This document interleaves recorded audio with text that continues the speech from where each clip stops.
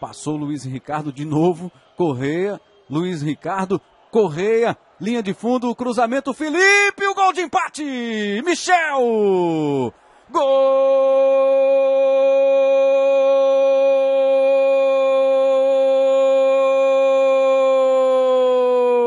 Festa portuguesa com certeza!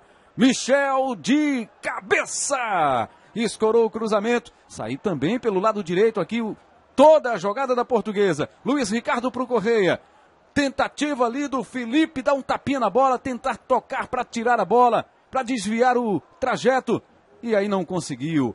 Michel subiu para fazer de cabeça. Subiu com ele Maranhão, levou vantagem ali o atacante da Lusa para deixar tudo igual. Aos 31 minutos do primeiro tempo, agora o Náutico tem um, a portuguesa também tem um.